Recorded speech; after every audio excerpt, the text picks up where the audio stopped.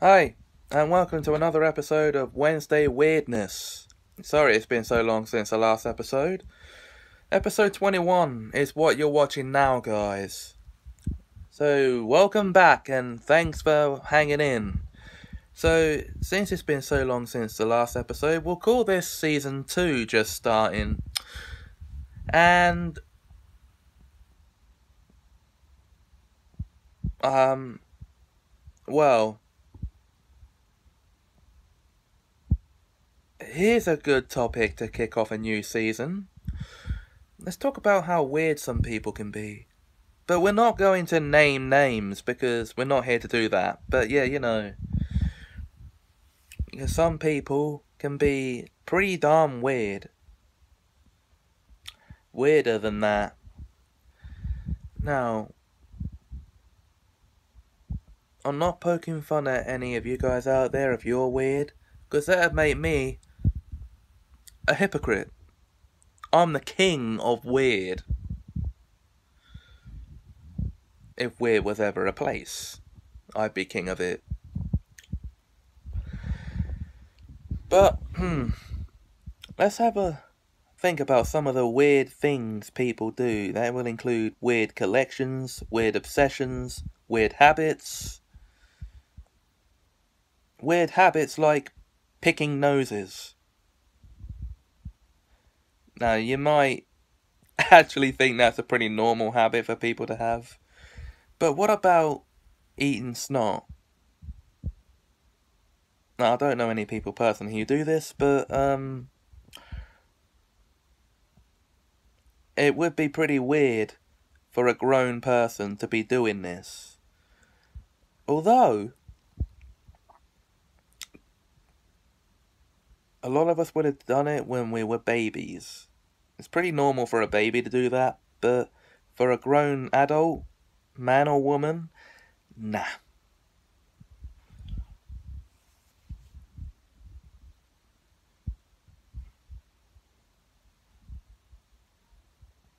Okay.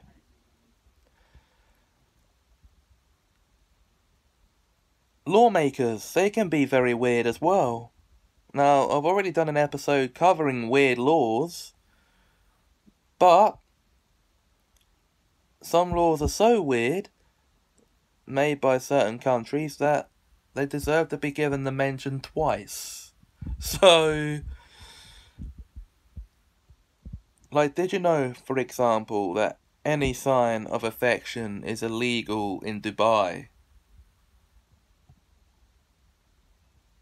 No, no it might be seen as somewhat racist for me to be calling someone other as a whole other culture weird, but holding hands, that's perfectly normal. Hugging and kissing, perfectly normal.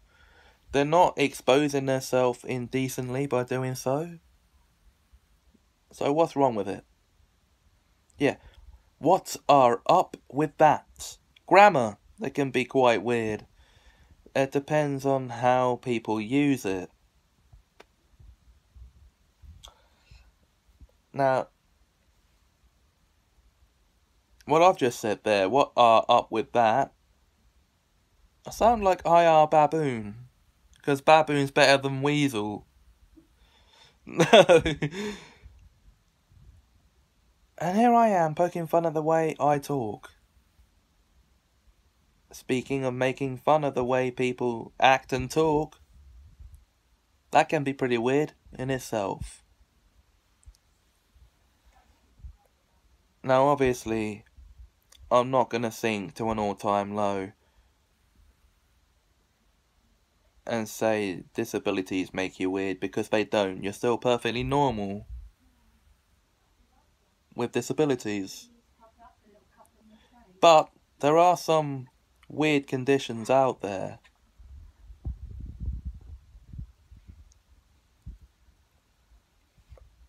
When I say conditions, I actually mean disorders. like pica, for example, it makes whoever suffers from it crave inedible substances such as uh, grass and metal and sand. You know, like you name it. Now that would be weird outside of a normal situation where a woman might suffer from it pregnancy. It should be pretty normal for that to happen.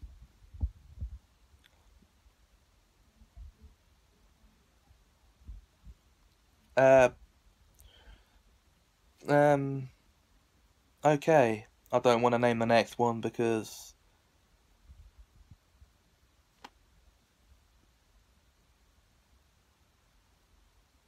No. No, don't make me.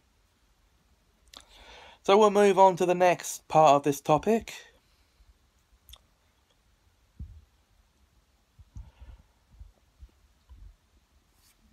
Which is dreams. Now I've already covered an episode topic a, a topic in an episode about dreams. Check a few episodes back. But some people have pretty weird dreams and give shout outs to someone I know here. My best mate, Darren Stratton. He has the weirdest dreams, and they're always lucid because he always remembers every detail of them.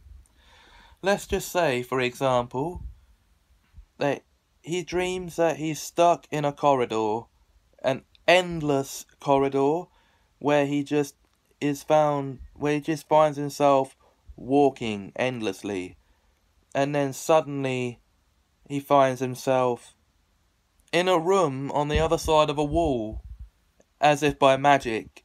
No door, no way in, and he stops and looks around. And he wakes up as soon as he finds the exit of the room, which is through the same wall, or a different wall than what he came in. Darren, how would that dream end if you had it? Comment below, please.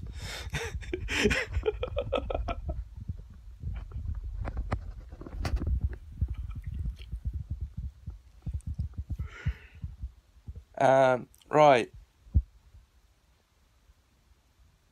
People who claim to be time travelers obviously are weird in the head. Because you have cases of people claiming to be from the future all the time here. You hear about it all the time.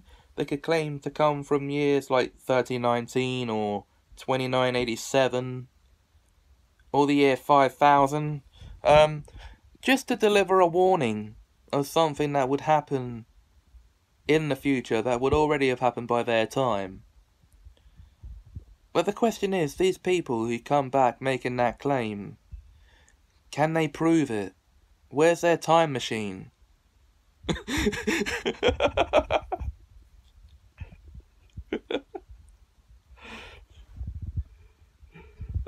uh, anyone can claim to be from the future and have someone totally believe it because they're gullible enough to.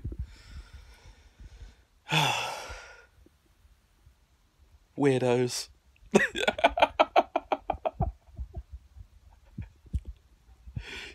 Go and get your head examined. oh dear. And another very weird thing some people uh, some people claim is to have lived past lives as different people and to be reincarnations of those different people. I don't believe in this sort of junk myself, but I do know that these people also need their heads examined. Ah, I'm going to stop myself there if they're not from a religion that actually believes in that kind of stuff. So, yes, if they're Hindu and they believe they can be reincarnated into a different creature upon death, that's perfectly normal for them. So I'm sorry if I just sounded racist again. I don't I don't mean that. But I'm talking about people who are not part of that believe in their reincarnations of people who lived a long time ago. Clue you in. people outside of religions that believe in reincarnation. But there's no such thing as reincarnation. You're just a weirdo.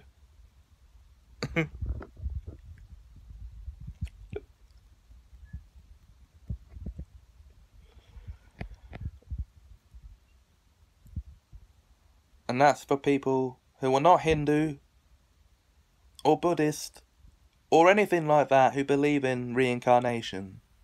If you believe you're a reincarnation of someone, shut up. Anyway.